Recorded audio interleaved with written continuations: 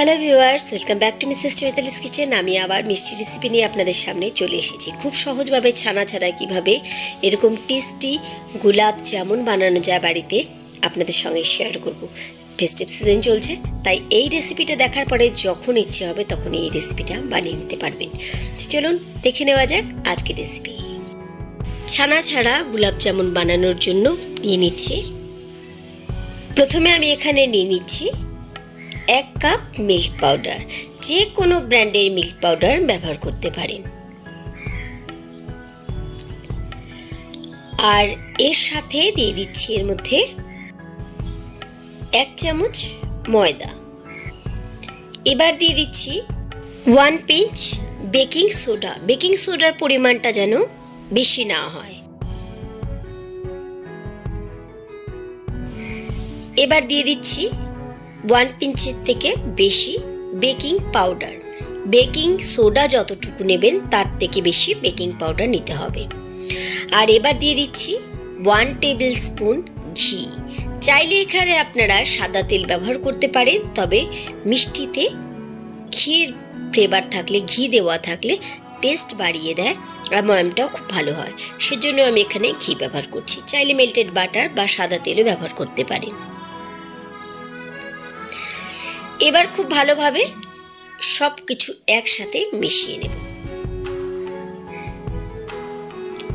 আমরা ঘিয়ের ময়াম দিয়েছি, তাই খুব ভালোভাবে বেকিং সোডা, বেকিং পাউডার আর ময়দা, মিল্ক পাউডারের সাথে খুব ভালোভাবে একটু ডলে ডলে মিশিয়ে নিতে হবে। আমার খুব ভালোভাবে সব কিছু মেশানো হয়ে গেছে। এবার মেখে নেব। মেখে নেওয়ার জন্য আমি এখানে নিচ্ছি জল। আপনারা চাইলে এটা দুধ দিয়েও মাখতে পারেন। তাহলে আরও ভালো হয়। তো আমি এখানে হাফ কাপ জল নিয়েছি, তার মধ্যে প্রথমে ঢালছি একটুখানি। এটা মিল্ক পাউডার মাখছি, সেটা খেয়াল রেখে মাখতে হবে, তাই জল কিন্তু প্রথমে যদি হাফ কাপে দিয়ে দিই, তাহলে পুরো ডো কিন্তু একদম নরম হয়ে যাবে। তাই হাফ কাপের থেকে প্রথমে আমি একটুখানি জল দিয়েছি।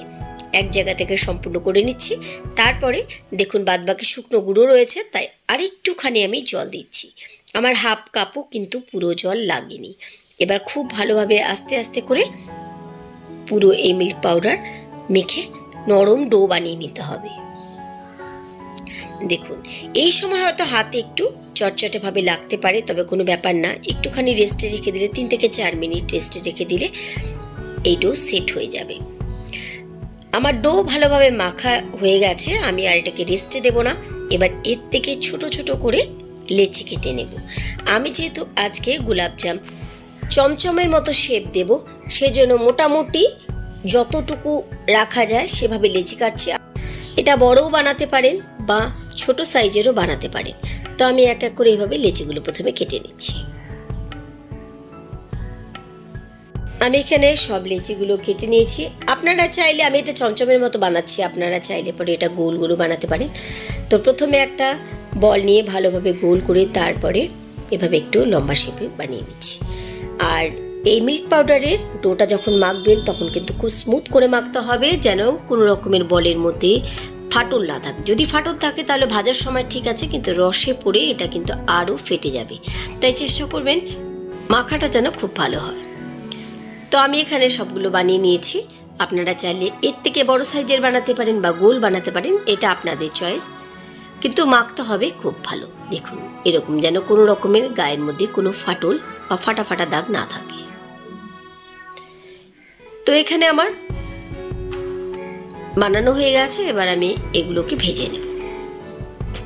মিষ্টিগুলো ভেজে নেওয়ার জন্য আমি এখানে একটা প্যানের মধ্যে নিয়ে নিয়েছি সাদা তেল আর ল্যাংচা বা গোলাপ জাম বানানোর জন্য তেল কিন্তু সব সময় একদম হালকা গরম লাগবে। অতিরিক্ত গরম তেলে এগুলো ভাজলে তাড়াতাড়ি রং ধরে যাবে আর ভেতরে কিন্তু কাঁচা থেকে যাবে। তখন কিন্তু রসে দিলেও এটা ফুলবে না, ভেতরে গুটলি গুটলি থাকবে। তাই একদম হালকা গরম তেলের মধ্যে প্রথমে আমি এক এক করে এগুলো ছেড়ে দিচ্ছি। তেল দেখলে বোঝা যাচ্ছে যে তেল কিন্তু একদম গরম হয়নি, হালকা একটু বুদবুদ উঠছে।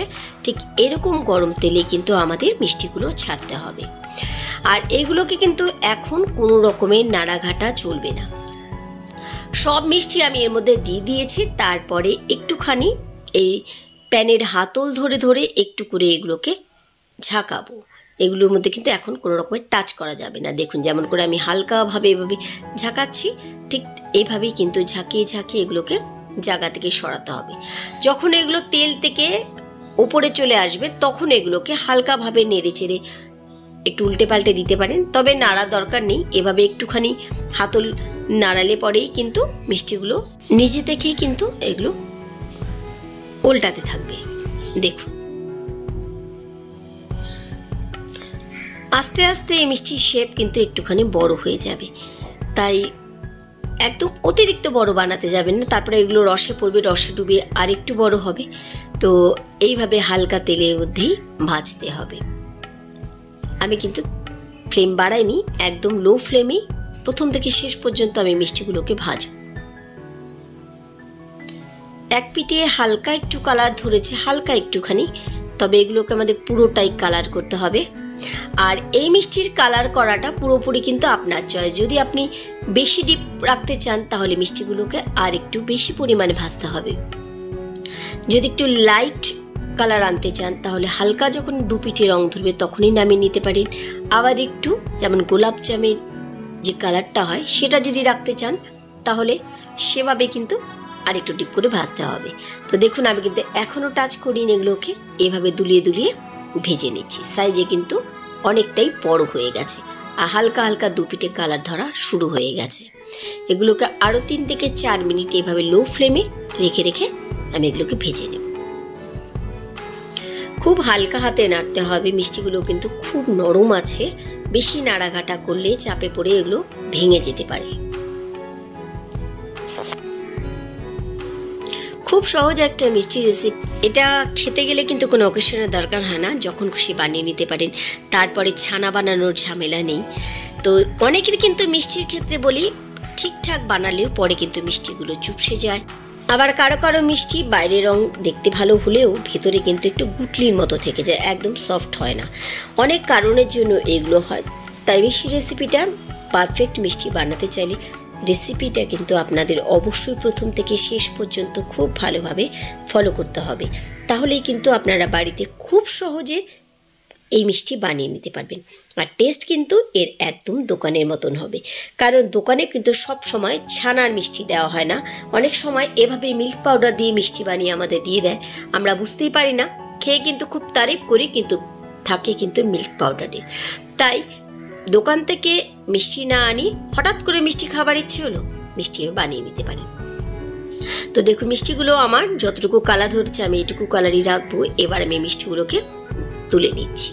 আপনারা চাইলে এর থেকে বেশি ডিপ কালার করতে চাইলে আরেকটুখানি এরকম লো ফ্লেমে রেখে ভেজে নিতে পারেন।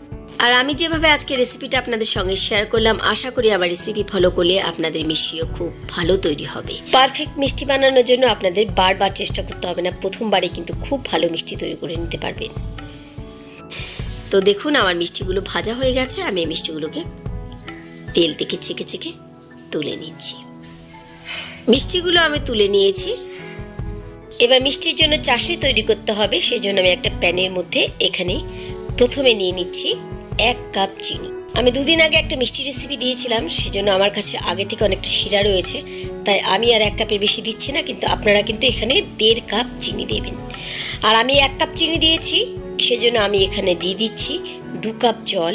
আর আপনারা দেড় কাপ চিনি দিলে এখানে কিন্তু তিন থেকে সাড়ে তিন কাপ জল দেবেন। আমার শিরা যেহেতু আগেই রয়েছে, তাই আমি এখানে জলের পরিমাণটাও বেশি দিলাম না। এই সব মিষ্টির ক্ষেত্রে কিন্তু শিরার পরিমাণটা পাতলা লাগবে। আর খুব ভালো ফ্লেভারের জন্য আমি এখানে গোটা এলাচ ফাটিয়ে দিয়েছি। আপনারা চাইলে এখানে গোলাপ জামের ফ্লেভার দিতে পারেন বা গোলাপ জল ইউজ করতে পারেন, কেওড়া জল ইউজ করতে পারেন বা এরকম এলাচ গুঁড়োও দিতে পারেন। পাতলা যেমন হবে তেমন মিষ্টি হবে। আর শিরা যত পাতলা হবে, রসগোল্লা বা গোলাপজাম এরকম মিষ্টি, ততই কিন্তু রসে পড়ে, ততটাই ভালোভাবে রস টেনে সফট তৈরি হবে। তাই রস কিন্তু ঘন করা যাবে না। এবার আমি এই চিনি গলতে দেবো কিছুক্ষণের জন্য। এবার চিনি একটুখানি আমি গলতে দিচ্ছি। কোনো একটা দুতারে চাষটি না, আমাদের পাতলা, একটু মিষ্টি শিরা লাগবে। এভাবে প্রথমে চিনি একটুখানি মিশিয়ে নিচ্ছি। চিনি যখন এখানে ভালোভাবে মিশে যাবে, তখন এর মধ্যে আমি আমার যে আগের থেকে চাশনি রয়েছে, সেই চাশনি আমি এর মধ্যে ঢেলে দেব। আপনারা চাইলে এর মধ্যে ফুড কালার দিতে পারেন বা ফুড কালার ছাড়া এমনিও এরকম সাদা চাশনিতেও মিষ্টিগুলো দিতে পারেন। এই চাশনিগুলো নষ্ট হওয়ার ব্যাপার নেই। এখন ফেস্টিভ সিজন চলছে, অনেক রকম মিষ্টি বানাতে কাজে লেগে যেতে পারে বা আমরা যেমন চাটনি খাই, সে সময় ব্যবহার করতে পারেন। তাই মিষ্টি বানিয়ে নেওয়ার পরে এগুলোকে ভালোভাবে ছেঁকে ফ্রিজে রেখে দিতে পারেন। তো এখানে আমার চাশনি খুব ভালোভাবে তৈরি হয়ে গেছে। আর এটাতে আগে থেকে কালার দেওয়া ছিল। তাই আমি আর বাইরে থেকে কোনো কালার দিলাম না। আর চাষে কিন্তু এরকম পাতলা তৈরি করতে হবে। মিষ্টিগুলো যেহেতু আমি আগে ভেজে রেখেছিলাম, সেজন্য মিষ্টিগুলো কিন্তু একটু ঠান্ডা হয়ে গেছে। ভেতরে গরম আছে উপর থেকে কিন্তু ভালোভাবে ধরা যাচ্ছে। আর এবার এই চাষি ফুটছে, ঠিক এই সময় আমি গ্যাস ওভেন একটুখানি বন্ধ করে দিয়েছি। এবার এর মধ্যে এক এক করে আমি মিষ্টিগুলো দিয়ে দিচ্ছি। চাষটি কিন্তু খুব গরম রয়েছে, সেজন্য মিষ্টিগুলো আমি এখন দিয়ে দিচ্ছি আর গ্যাস ওভেন কিন্তু এখন বন্ধ করা রয়েছে। আমার আজকের রেসিপি আপনাদের কাছে কেমন লেগেছে অবশ্যই কিন্তু কমেন্ট সেকশনে জানাবেন। আপনারা বাড়িতে বানিয়ে থাকলে আপনাদের মিষ্টি কেমন হয়েছে সেটাও কিন্তু আমাকে জানাতে ভুলবেন না। সব মিষ্টিগুলো আমি এর মধ্যে দিয়ে দিচ্ছি। দিয়ে দেওয়ার পরে এটাকে ঢাকা দিয়ে ঠিক তিন থেকে চার মিনিট হাই ফ্লেমে ফুটিয়ে নেব।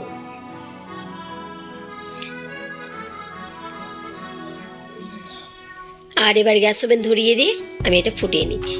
খুব বেশি ফোটাতে যাবেন না, তিন থেকে চার মিনিট ফুটিয়ে গ্যাস ওভেন বন্ধ করে দিয়ে এই শিরার মধ্যেই রেখে দিতে হবে।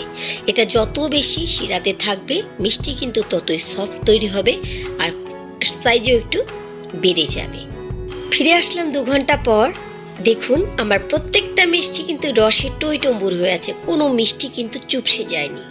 এর মধ্যে একটা মিষ্টি কিন্তু একটু কম ভাজা হয়েছিল, সেটা কিন্তু বেশি ফুলেছে, দেখুন। প্রত্যেকটা মিষ্টি আমার খুব ভালোভাবে এখানে রস টেনেছে। এবার যে মিষ্টিটা বেশি ফুলেছে, আমি সেটাই কেটে দেখাচ্ছি আপনাদের, দেখুন। দেখেই তো বোঝা যাচ্ছে একদম নরম, তুলতুলে মিষ্টি। ভালো এখানে আমার মিষ্টি তৈরি হয়েছে। এবার একটা মিষ্টি আমি আপনাদের কেটে দেখাচ্ছি। এই মিষ্টিটা তুলনামূলক একটু হালকা ভাজা হয়েছিল, হালকা কালার দেখে নামিয়েছিলাম। দেখুন, কতটা নরম তুলতুলে তৈরি হয়েছে আমার এখানে মিষ্টি। একদম নরম তুলতুলে রসে টুইটম্বুর। আশা করি আমার আজকের রেসিপি আপনাদের ভালো লেগেছে। আজকের মতো এটুকুই। ফিরে আসব আবার অন্য কোনো রেসিপির সাথে অন্য কোনো দিন। সবাই খুব ভালো থাকবেন, সুস্থ থাকবেন।